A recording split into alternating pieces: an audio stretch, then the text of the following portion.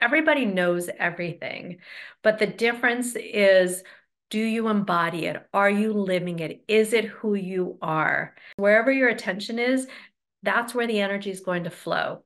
That's where you're going to start to create those miracles. And so, whatever we put out to the universe, the universe is going to give us back more of that.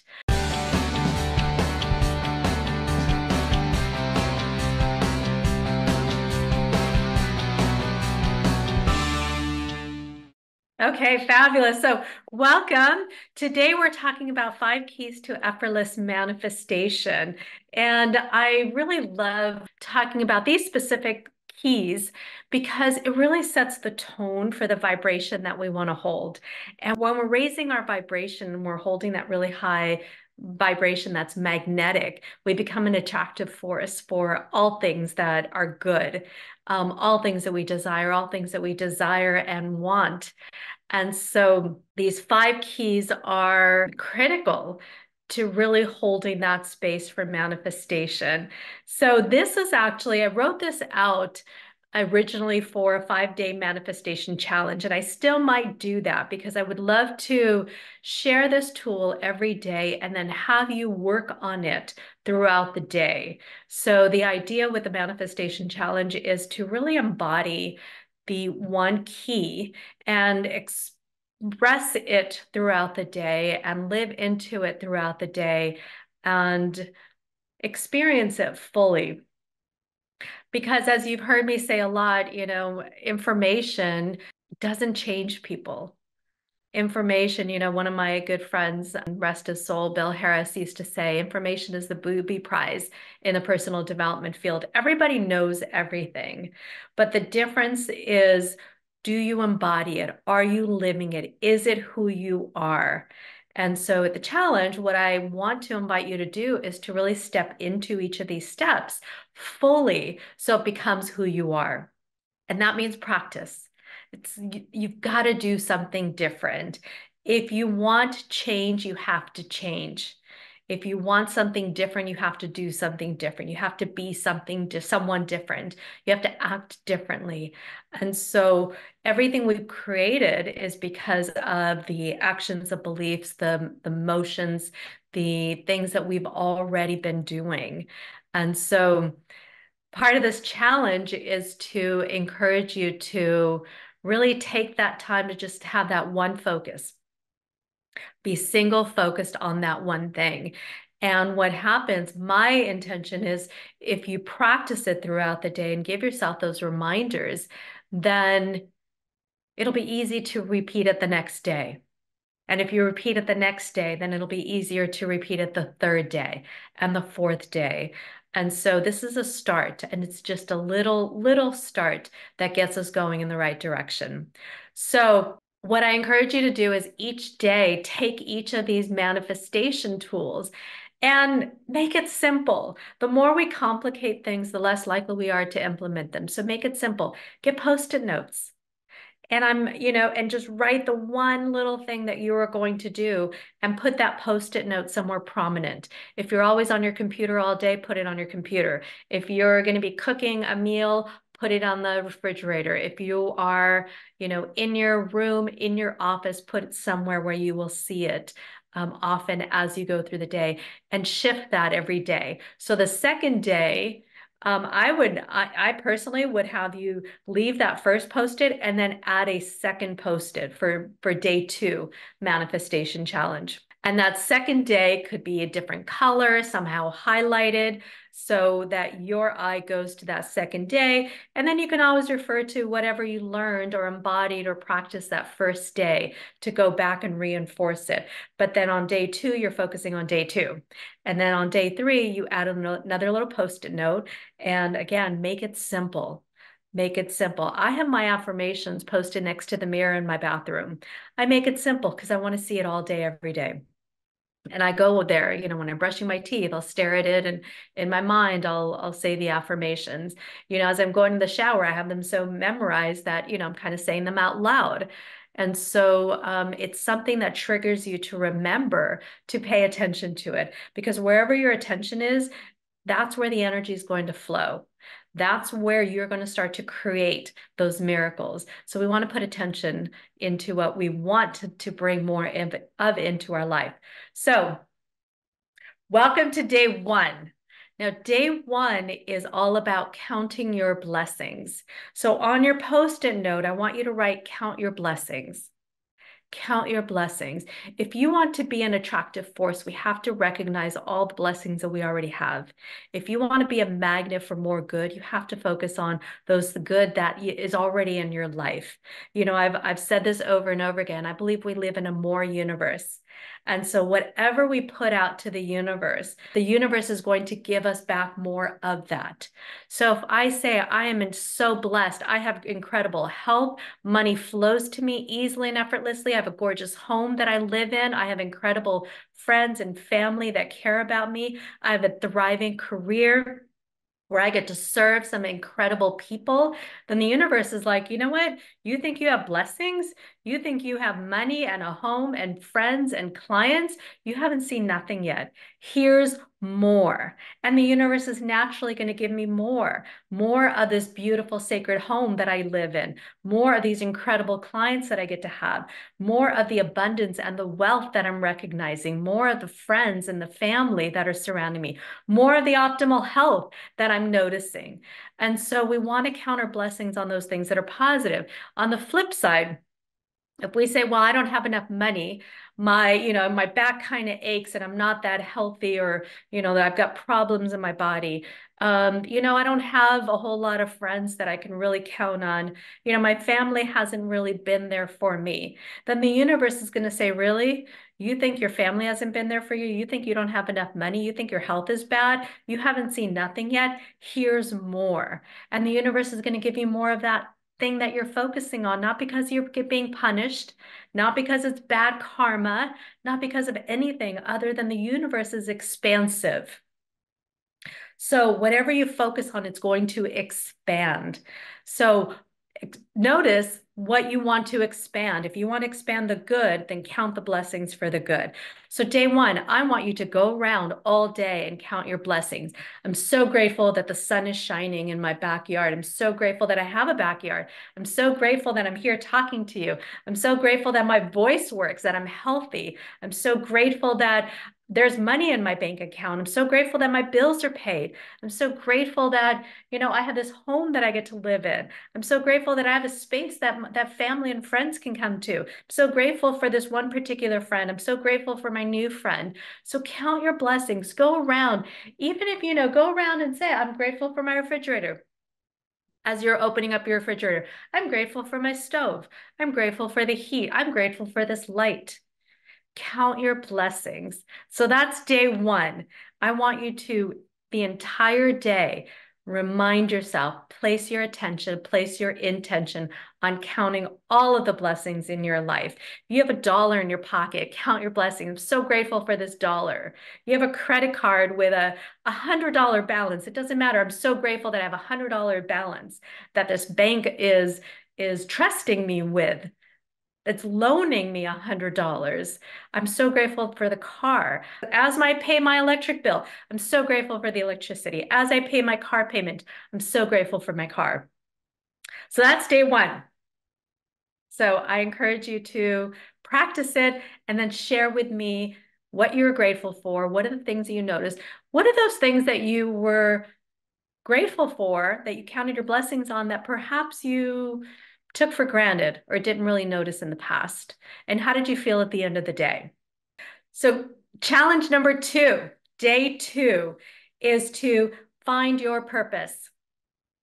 Now, a little caveat with that word I'm not a big fan of purpose just because everyone's always looking for the purpose like what's my life purpose? What's my life purpose? And really what i find when most people look, um, ask those questions about what their life purpose is is they're kind of looking for what should i do? That's an action. That's not really a purpose. That might be your vocation which is is your calling how you're going to serve. But to me purpose is your life you are purpose. Your life is purpose. And so, what I encourage you to do today is write out, find your purpose. And what I want you to think about is what is my life about? In this moment, what is my life about? What brings me joy? What gets me excited? What fills me up with energy? You know, when I look at people who are depressed or who have no energy, I usually find that they're not truly living a full life. See, most people live, you know, 99 years. Not most people. Some people live 99 years, but most people will live one year 99 times. That's because they never ask the question of, why am I here? What am I to do? Where am I to go? Even asking those questions connects you to a higher part of yourself that is directing you somewhere, that is wanting you to share something, that is wanting you to say some words to someone. So as you go through your day, ask yourself, you know, what is my purpose? What is my life? What is my life? What brings me joy? What brings me excitement? Where am I being drawn to? What would I love? Because whatever you love is what you're meant to be. Whatever brings you joy is where you're meant to go. So I want you to ask that question. So on your second post-it note, day two of the manifestation challenge is find your purpose. So day three of the manifestation challenge is to let go let go. On that post-it note, I want you to write the words let go. If you want to bring something in new, you have to let go of the old. You have to release. You have to clear space. You have to make space for what you desire, for what is desiring you, for what wants to come into your life. If you have a full closet, there's no room for new clothes. If you have a car full of junk, there's no room for anything nice to be placed in there. It's just going to get messy and dirty and broken or, you know, wrinkled or whatever, you know, the case is. And so when I talk about letting go, I talk about forgiveness, number one. And here's the thing with forgiveness. I, I'm not one to say, allow whatever someone did to you to, to go by the wayside to forgive and forget to you know let people mistreat you to let people steal from you or hurt you or do wrong by you. I'm not saying that at all. What i'm saying is if thinking about someone makes you contract if thinking about someone gives you that pit that feeling in the pit of your stomach. If thinking about what someone did to you gives you a headache or makes you anxious or gets you bring brings up emotions in you that are that are negative anger sadness hurt then they still have a hold on you. You can't build anything new. If you are reacting to a memory or to a thought of something someone did in the past. So when you forgive you are giving to yourself. You are unchaining those binds, you're releasing those cords, you're breaking those connections. So that that person who did wrong by you no longer has control over you.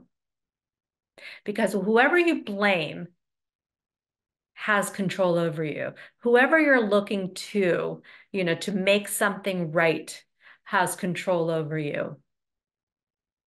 So today I want you to go through your day and ask yourself, what do I need to let go of? Who do I need to forgive? And I'm sorry, if you're a living, breathing human being, there's someone you need to forgive, even if it's that knucklehead that cut you off on the freeway today on your way to work. Could be your mother. It could be a sibling. It could be an ex. It could be a partner. It could be someone you worked with. It could be your best friend. It could be your neighbor, anyone. And, and just ask yourself and just say that silent prayer of I let I let go. I forgive you and I let you go. I forgive you and I let you go. And notice the peace and the calmness that comes over you. And notice the space that you have now that you're no longer being attached to them because again, remember, if simply the thought of them has a negative reaction in you, you're hurting yourself. You're hurting yourself. You know, Nelson Mandela, I believe, is, is the one who said, Not forgiving someone is is the same as drinking poison and expecting the other person to die. So we want to let go. The same thing with messes and incompletes. We want to let go of the messes and incompletes in our life. Those things take up space. Those things take up precious energy that we require in order to manifest the life of our dreams. And so if you have unfulfilled duties, things that are left undone, conversations that are left open, uh, perhaps contracts that have not been fulfilled. You have a mess in your drawer. You have your paperwork is all jumbled up. Your taxes are not filed. All of that drains your energy. So I don't expect you to complete all of it today, but I want you to think about what are those messes and incompletes that I have in my life? And how can I let those go? How can I let those go? What can I do today to get them done? Because here's the thing, you know, if I have something that I'm required to do, whether or not I physically get it done, I'm thinking about it.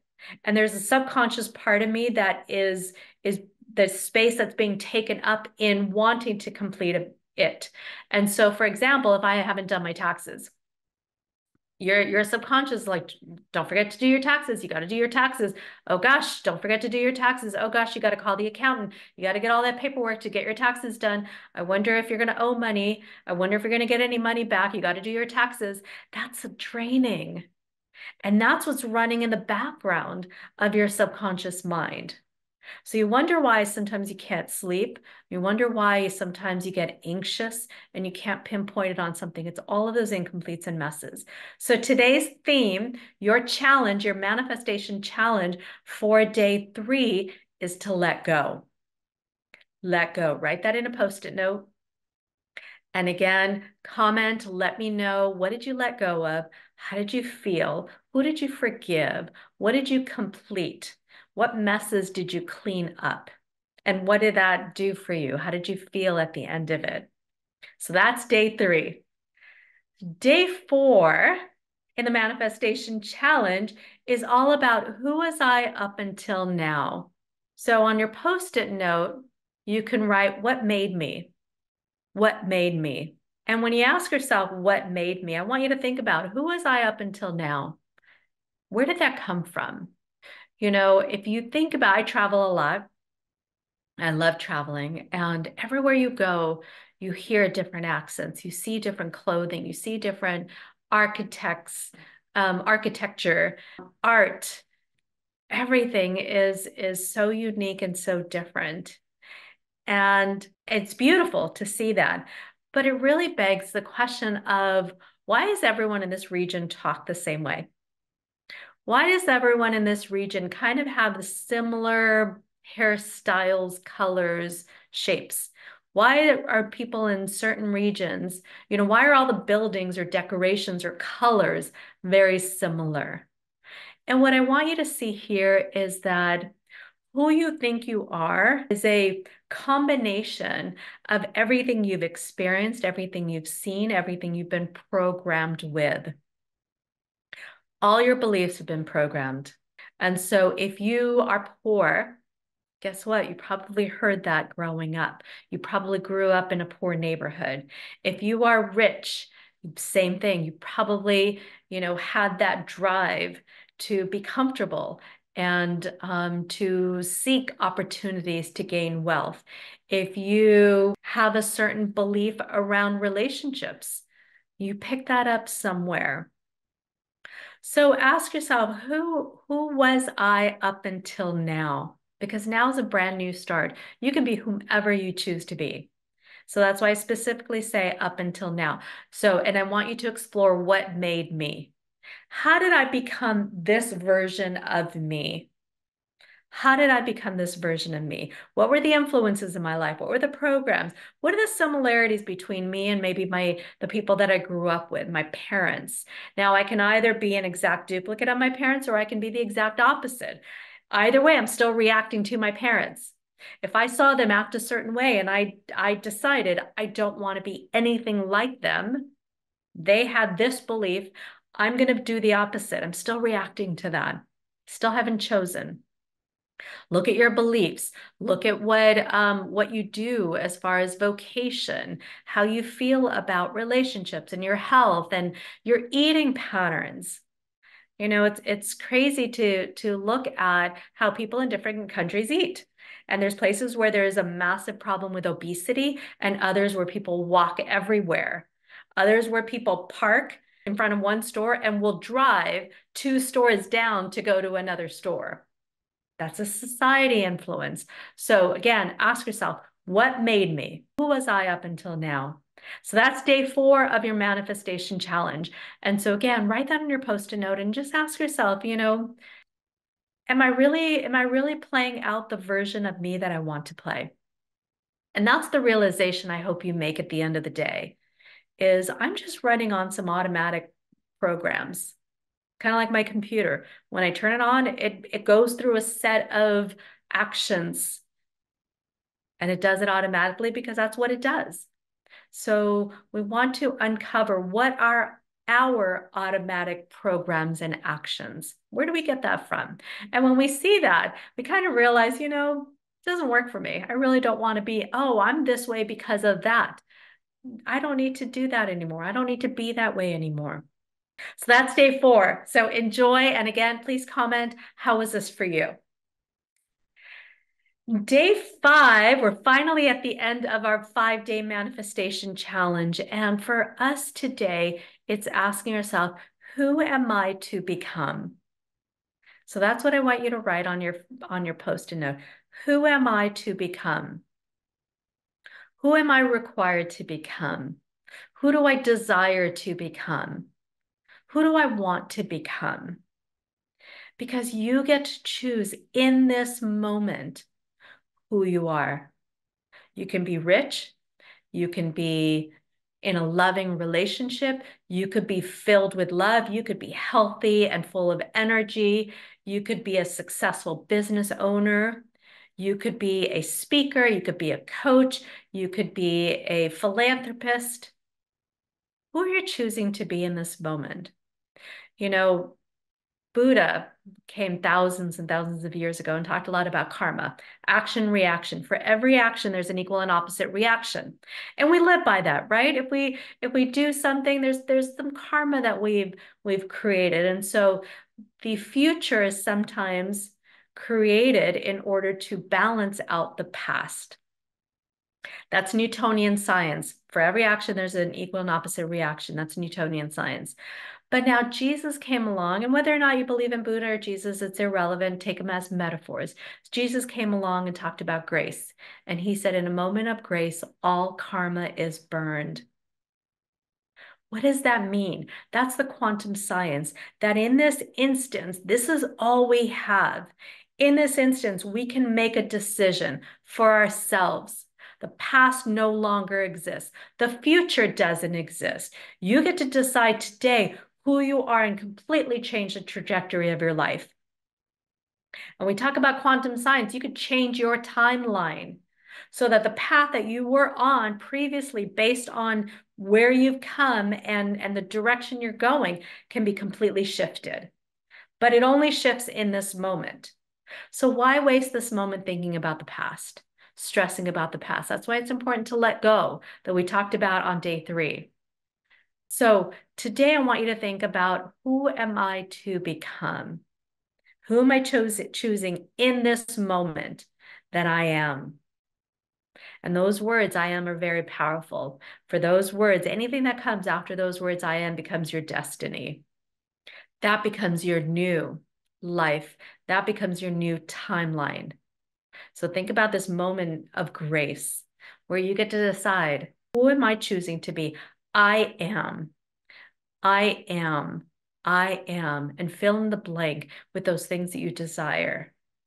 Connect that back to your purpose. Connect that back to the blessings that you've counted, that you're just open to more of. So, who am I to become? So that's day five of your manifestation challenge. And again, I want you to share with me how does that feel? What are those new identity statements? What did you connect to? What was the most powerful version of you that you were able to see and feel and hear and be and step into. So thank you so much for joining us. I am so grateful for you for being here, for joining us on this challenge. And I encourage you again, do the work. Don't make this just information. Information never changes anybody. It's actually doing something different. It's being someone different. And you get to decide in this moment the type of life that you will live. So, so much love and blessings to you. We'll see you soon. Bye bye.